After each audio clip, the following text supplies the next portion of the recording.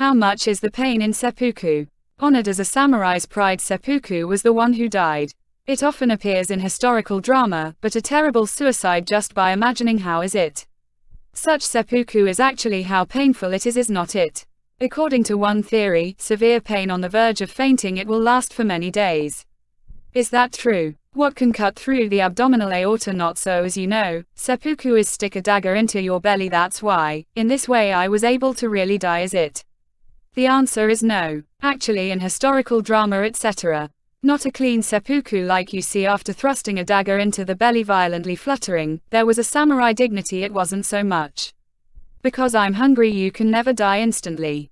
Abdominal aorta for immediate death I have to cut the thick blood vessel no, but this blood vessel is in the spine it is in the vicinity. Do your own dagger so deeply inserting is a samurai at that time even if there was, there were few things that could be done it is said.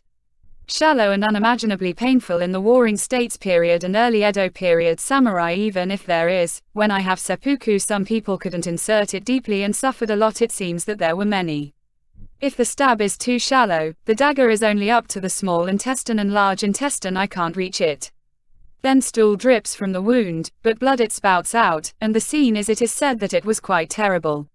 Until I die in this situation come to think of it, medically eventually sepsis it is normal to die.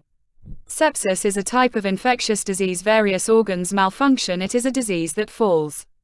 In general, sepsis is caused by organs it rots, so if you think so unimaginable by the time you die pain and pain I understand.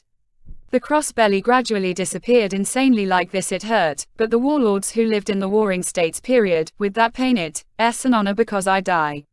I can't think of it now thought you can dare to choose a difficult path yourself it was the pride of the samurai.